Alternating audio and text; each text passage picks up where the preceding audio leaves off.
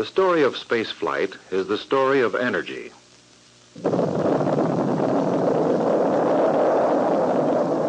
Energy lifts a space vehicle from the Earth, propelling it into space.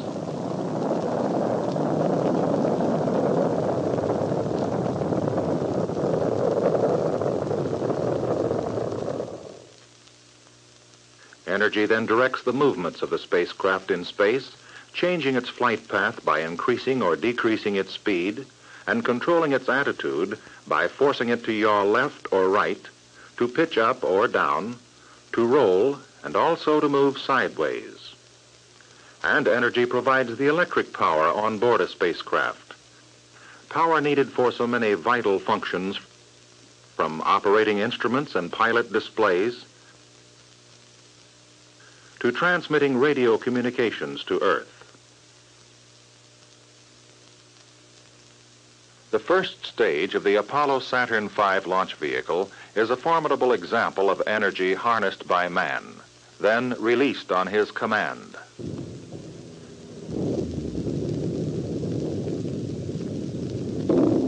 Its five engines generate seven and a half million pounds of thrust to propel the Apollo space vehicle through the first phase of a manned lunar mission. But this brief film chapter in the story of energy and spaceflight begins after the stages of the launch vehicle have performed their tasks.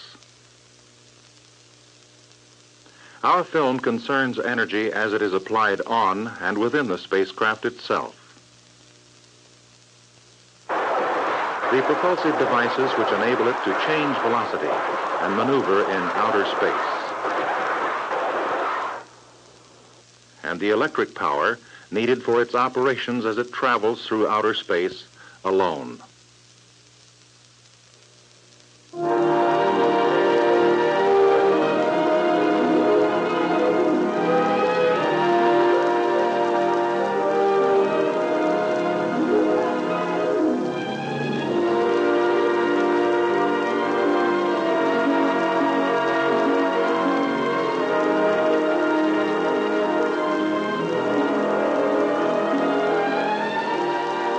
Finding and selecting the types of energy best suited for manned spacecraft propulsion and power is the responsibility of the Propulsion and Power Division of the Engineering and Development Directorate of NASA's Manned Spacecraft Center at Houston, Texas.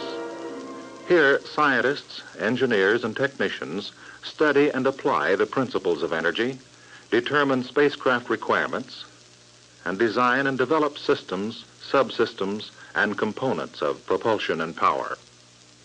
Primarily, they monitor the design, development, and manufacture of such units by private contractors throughout the United States and subject developmental hardware to exhaustive tests to verify its performance and reliability.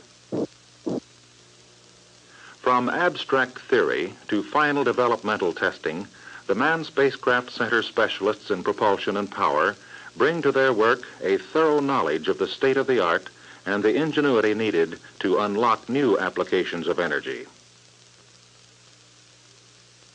Analyzing the energy characteristics and capabilities of various systems is part of their daily work. Designers are bound by many constraints in deciding which sources of energy and which energy conversion devices to select. Available funds and the target date for a mission are design determinants since only those systems can be considered which can be developed, thoroughly tested, and produced by the required date. The weight of the payload which can be placed in space is limited by the capability of the launch vehicle. Each system and subsystem must meet the tests of safety and reliability demanded for manned missions. The special requirements of a particular mission for both propulsion and power must be identified then analyzed. Considering propulsion first, there are two categories of spacecraft systems, primary and auxiliary. Primary propulsion systems are used for large increases or decreases in spacecraft velocity. Auxiliary propulsion systems are attitude control systems. Some can also achieve small velocity changes but their main function is to orient the spacecraft in pitch, roll, and yaw. Let us identify some of these systems by comparing our first three manned spacecraft. Mercury, Gemini, and Apollo. Comparatively, the propulsive energy requirements of the Mercury spacecraft were not large.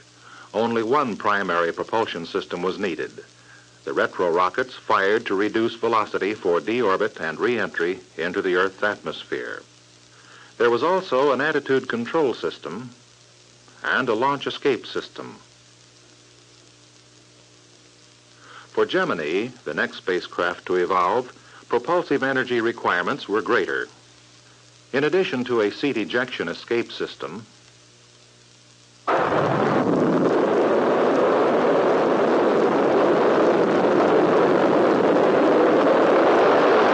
an attitude control system, and retro rockets for deorbit. Gemini needed an additional propulsion system to change the velocity of the spacecraft for orbital changes and rendezvous maneuvers. In the case of the three-module Apollo spacecraft, energy requirements are immense. In addition to a more powerful launch escape system, large amounts of propellant and three primary engines are needed. The service module has a main engine to correct the flight path on the way to and from the moon, to reduce speed to enter lunar orbit, and to thrust the spacecraft out of lunar orbit into a return flight path. The Lunar Excursion Module, called the LEM, has a descent engine to land on the moon and an ascent engine to lift off from the moon's surface. In addition, three auxiliary propulsion systems are needed, one on each module for attitude control. Altogether, 44 rocket engines are required for the three auxiliary systems. To better understand the tasks of a propulsion engineer, let us now analyze certain Apollo spacecraft propulsion requirements by reviewing part of an Apollo manned lunar landing mission profile. After the three modules of the spacecraft have been launched into Earth orbit and then into a translunar flight path with the LEM still attached to the third stage launch vehicle, the adapter shielding the LEM is opened by a pyrotechnic subsystem. The rocket engines of the service module's auxiliary attitude control system then maneuver the command and service modules so that they pull ahead, turn around, and return to dock with the LEM. The service module's main engine is now in the clear for firing. The spacecraft is then separated from the third stage launch vehicle. Sometime later, the crew prepares for the first of three mid-course corrections which may have to be made in the flight path on the way to the moon. Attitude control engines orient the spacecraft precisely so that the force vector of the main engine is aimed in the required direction. The main engine is then fired for the first time. This is the first use of the tremendous energy of this primary propulsion system to change the velocity or direction of travel of the spacecraft. Between mid-course corrections, the spacecraft coasts with the attitude control engines stabilizing the spacecraft for navigational sightings or scientific measurements and controlling its roll at the rate of one or two revolutions per hour to distribute the sun's heat evenly. After the final mid-course correction, the spacecraft approaches the moon but its velocity and flight path, if undisturbed, would carry it past the target. So the main engine is again fired, this time for approximately six minutes, during which the combustion energy of the propellants reduces the inertial energy of the onrushing spacecraft, thereby reducing its velocity to a nominal 3,600 miles per hour. At this point, the spacecraft's flight speed and the moon's gravitational pull are so balanced that the spacecraft falls into a nearly circular orbital path around the moon. The two lunar explorers transfer from the command module to the LEM, and the LEM is separated from the command and service modules which will remain in circular orbit carrying the third crewman. Orbital velocity would also keep the LEM flying in this circular path around the moon if no new force were applied. This new force is obtained by firing the LEM's descent engine. Its retro thrust reduces the LEM's velocity so that it enters a separate descent orbit. When the LEM reaches the point in its descent orbit closest to the moon, its descent engine is again ignited for a continuous burn to further reduce its speed and perform the landing maneuver. A large amount of propellant must be expended to overcome the inertial energy of the LEM. To bring it to rest on the moon's surface, several other features are also essential. The attitude control system must properly stabilize and orient the spacecraft. The descent engine must be gimbaled so that the direction of its thrust can be precisely aimed. And the engine must be throttleable so that the pilot can apply variable amounts of thrust. These features enable the pilot to guide the LEM along a carefully planned flight path, to let it hover over the landing site, and, if necessary, to change its course before touchdown. The next propulsion requirement of the mission is the launch from the lunar surface back into lunar orbit. The empty descent stage serves as a launch platform for the ascent stage. A large amount of propellant and a launch engine must be carried to the moon to supply the energy required to return to lunar orbit. The attitude control system aims the thrust of the ascent engine. The ascent maneuver brings the LEM into lunar orbit about five miles from the orbiting command and service modules.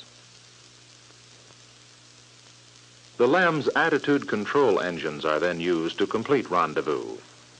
After the two explorers have rejoined their fellow crewmen in the command module, the LEM is separated to remain in lunar orbit. Oriented by the service module's attitude control system, the powerful main engine is then fired to give the command and service modules the velocity to leave lunar orbit and enter a flight path back toward Earth.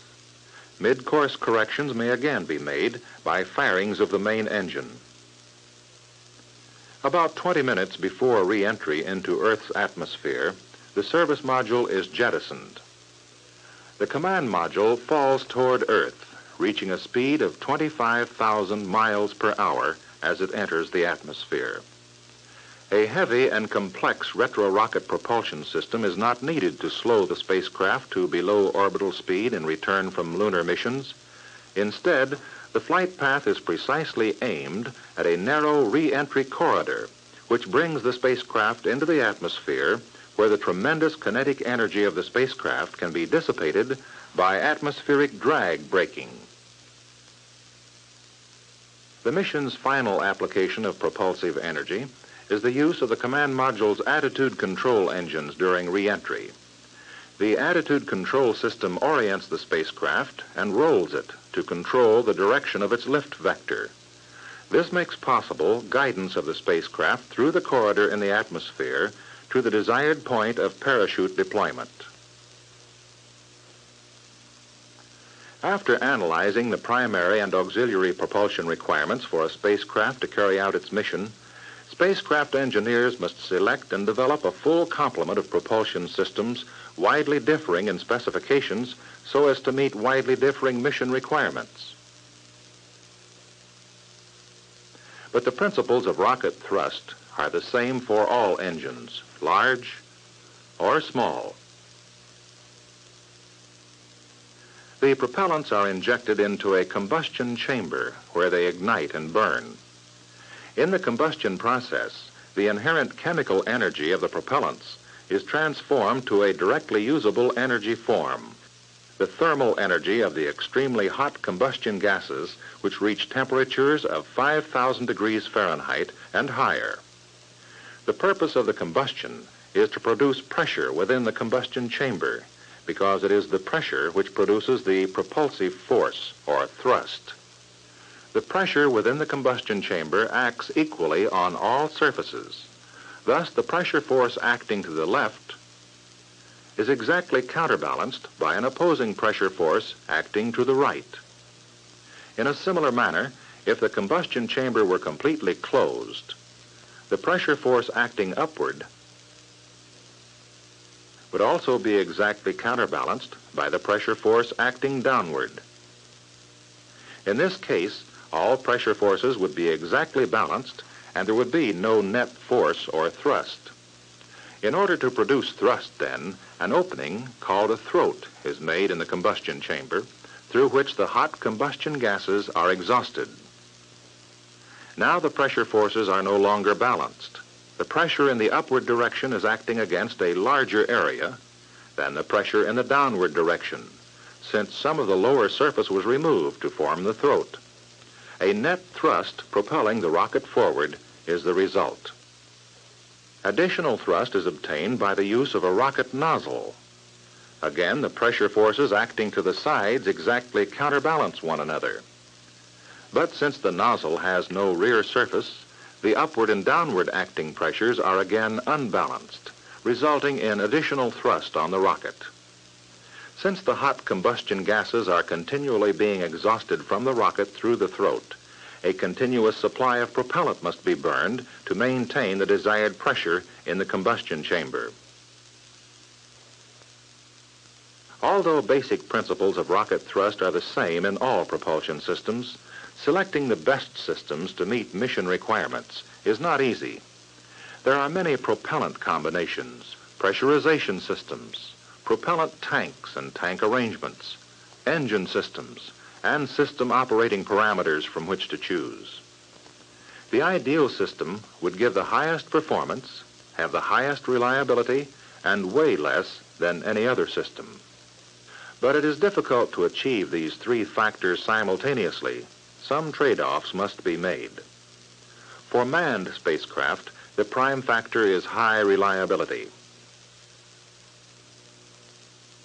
Careful analyses and vigorous discussion by preliminary design engineers precede the selection of propellants and propulsion systems, which account for the largest portion of spacecraft weight, 73%, for instance, of the weight of the Apollo spacecraft. Chemical propellants in use today can be classified broadly as liquids and solids. Current missions generally rely on liquid bipropellants consisting of a fuel and an oxidizer.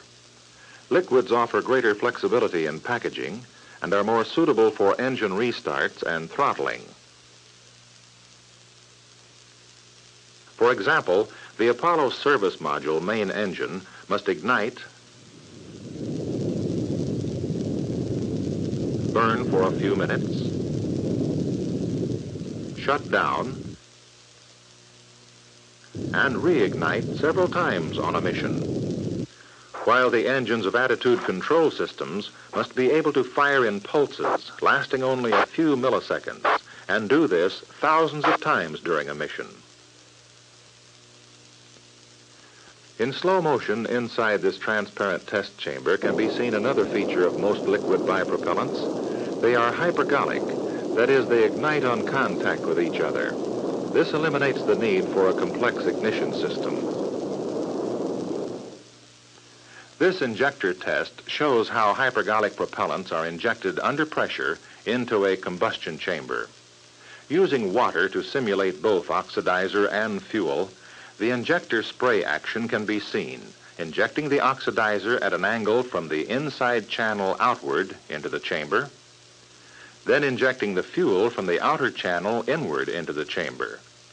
In actual combustion, the oxidizer and fuel are injected at about the same time.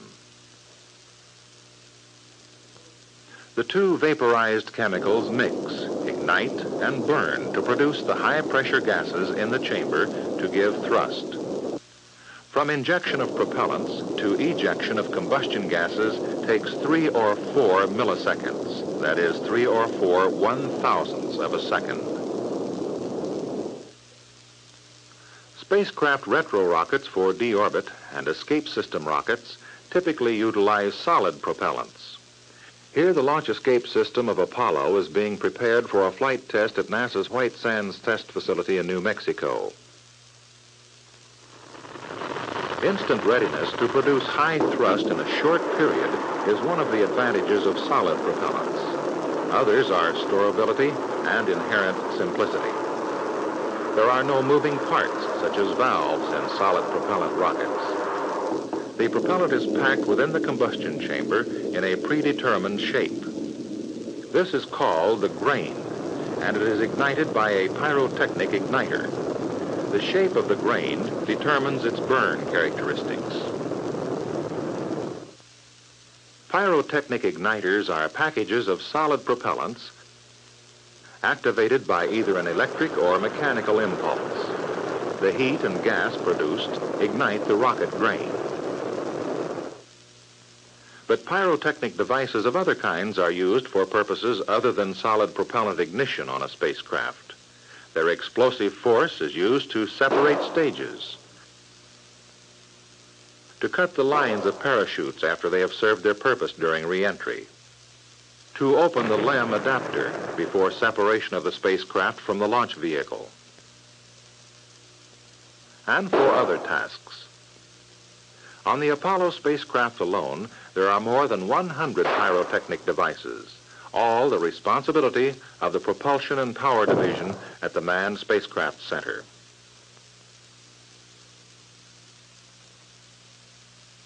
From spacecraft propulsion and pyrotechnics, let us now proceed to a different but equally vital use of energy, spacecraft electric power. Every instrument in the cabin of a spacecraft is operated by electric power stored in batteries or generated by onboard systems. For short missions, storage batteries are adequate to supply power. The Mercury spacecraft relied on them entirely without a single failure. But storage batteries cannot be recharged when they are the sole source of. To store enough energy to meet the requirements of extended missions, such a storage battery would be far heavier than systems that can generate and supply power on board the spacecraft as it is needed for the mission. Therefore, Energy Systems engineers investigate several different power supply sources for long missions. For example, fuel cells, solar cells, and nuclear systems, which are even being developed to supply power for instruments left on the moon to transmit data to Earth. The eight-day mission of Gemini 5 was the first use of fuel cells in space to supply electricity. The Gemini fuel cell works like this. Oxygen and hydrogen are carried in tanks in their cryogenic, extremely low temperature state. Heat is applied to the two fluids which enter separate compartments in the fuel cell. The compartments are separated by a plastic membrane, an organic polymer with a molecular structure having the properties of an electrolyte. The membrane itself is sandwiched between two porous catalytic electrodes. Oxygen is pressurized into the compartment next to the positive electrode, hydrogen into the compartment next to the negative electrode. The electrons separate from the hydrogen atoms and travel along an external circuit toward the positive electrode. Now, this creates electric power. The hydrogen ions, that is, the nuclei of the hydrogen atoms which have lost their electrons, migrate through the electrolytic membrane and combine with the oxygen to form H2O. On extended missions, this water may be collected in tanks for drinking and other onboard purposes. Two independent systems composed of several cells are carried on Gemini missions. Each system has a maximum output of about 1,000 watts. As in the case of rocket engines, fuel cell principles are the same, although there may be several different types of systems, depending on mission requirements. This is a test model of the fuel cell system for the Apollo spacecraft. The Apollo cell utilizes a liquid electrolyte instead of an electrolytic membrane for ion exchange. Still another concept being studied is a fuel cell with a different type of electrolytic membrane consisting of asbestos saturated with the liquid electrolyte. Experimental models of this type have been used to drive tractors and other machines. More advanced engineering models of this capillary membrane fuel cell are being developed by NASA for future manned spaceflight applications.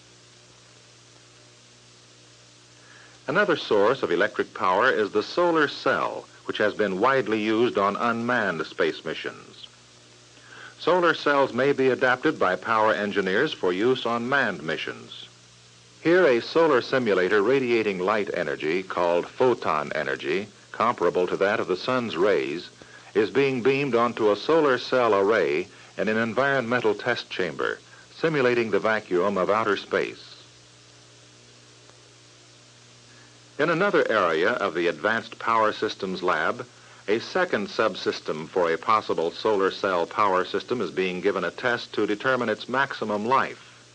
This is a secondary storage battery which can be recharged many times. Since a spacecraft using solar cells may be in the dark, behind the moon or a planet, during part of its mission, these dark phases. In addition to use of the sun's photon energy to activate solar cells and produce electric power, radioisotopes and nuclear reactors may be used as sources of heat energy for two other types of power systems called thermoelectric and thermionic. Thermoelectric conversion of heat to electric power is accomplished by applying heat to two different materials connected together. When heat is applied, the temperature gradient across both materials concentrates the charge carriers. This sets up a difference in the electric potentials of the materials. Electrons from the negative material flow in the external circuit toward the positive material, thus creating usable electric power. Radioactive isotopes are of particular value in thermionic systems.